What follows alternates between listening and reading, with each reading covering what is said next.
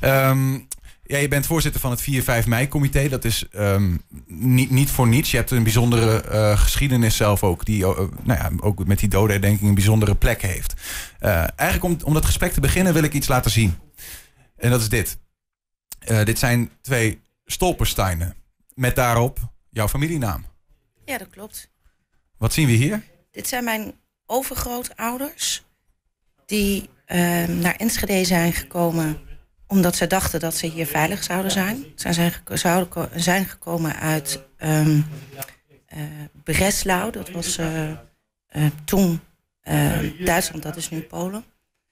En um, zij zijn naar Enschede gekomen. En ja, van daaruit liep het allemaal anders dan dat zij gedacht hadden natuurlijk. Hm. Um, die dennenboom, dat is, dat is, dat is dus jouw, jouw overgrootvader, die kwam hier naartoe. Um, kun je daar eens iets over vertellen, hoe dat, uh, wat hij hier deed? Ja, zeker. Die, um, in beeld zie je Eduard Dennenboom, dus dat is mijn overgrootvader. Nou, laten we zeggen die opa, vanaf nu, dat is makkelijker misschien. Uh, die opa was een handelaar in lompen en afval, wat wij nu recycling zouden noemen, oud papier.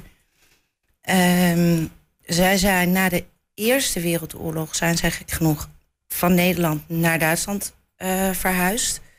En zijn in uh, begin 39 zijn zij teruggekomen naar Nederland. En zijn aan de Waldekstraat gaan wonen met drie kinderen. En daar was mijn opa er een van. Ja. Zometeen gaan we even verder over die kant van de familie. Want daar is uiteindelijk nog wel nou ja, een bijzonder uh, verhaallijn uit ontstaan. Ja. Um, de andere kant van, van de familie, uh, familie Frank. Uh, ja, dat die, is van mijn oma's kant. Die, die, die, dat is ook een Joodse tak. Ja, en die kwamen ook uit Duitsland. Die kwamen uit Noord-Duitsland. Die kwamen in mei 38 al naar, naar Nederland. Die gingen naar Enter. Die gingen naar die opa, overgrootvader, was veehandelaar. En die kwamen naar uh, Enter.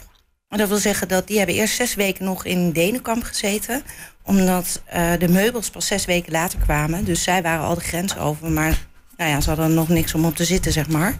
Maar de koeien waren al wel hier. Dus die opa die is, nog, uh, die is wel naar Enter gegaan. Ik kwam alleen in de weekenden in Denenkamp.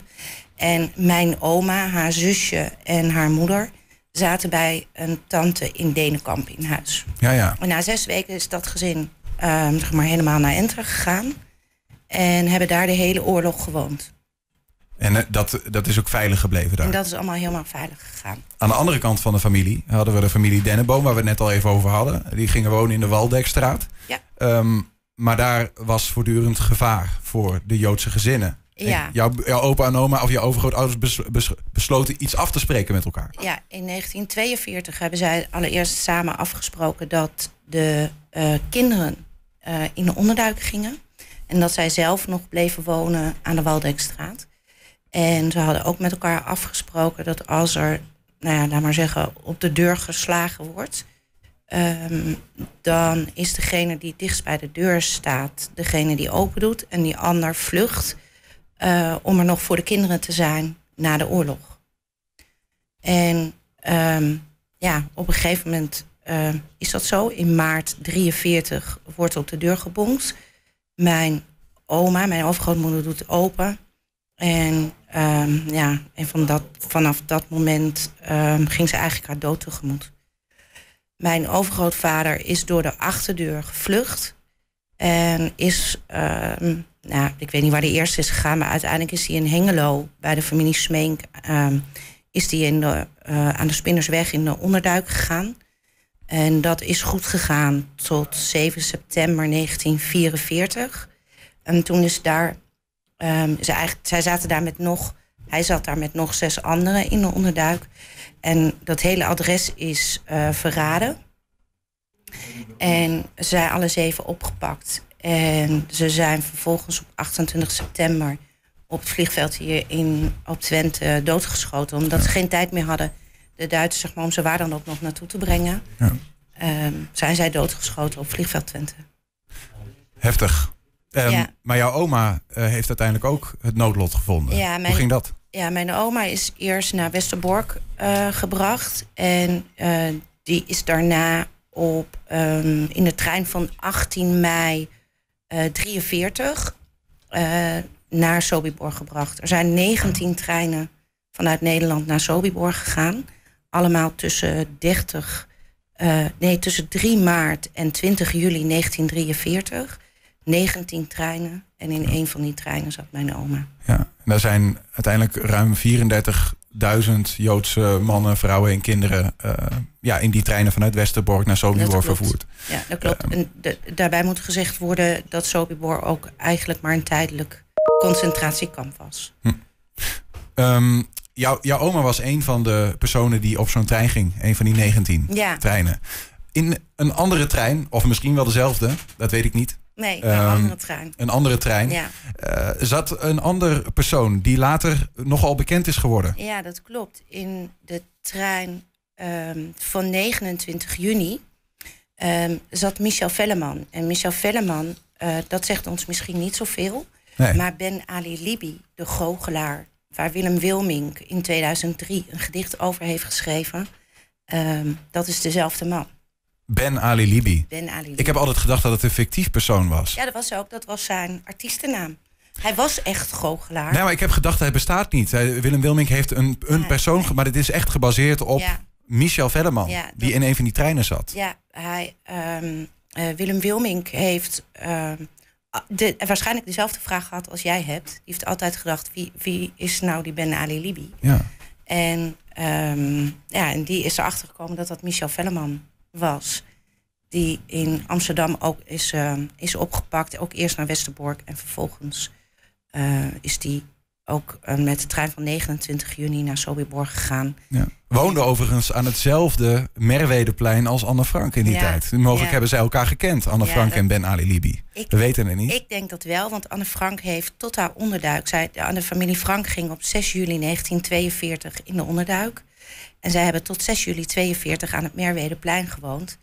En ehm, daar woonde Michel Velleman ook. Ja.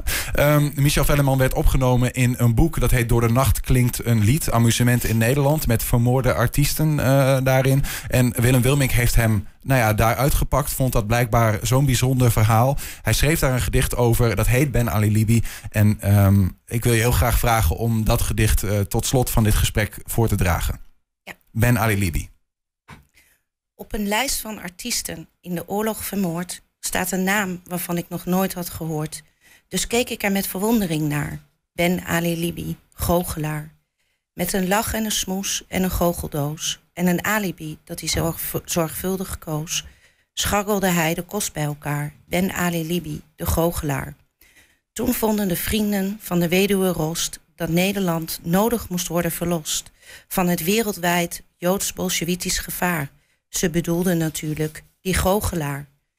Wie zo dikwijls een duif of een bloem had verstopt, kon zichzelf niet verstoppen toen er hard werd geklopt. Er stond al een overvalwagen klaar voor Ben Ali Libi, de goochelaar.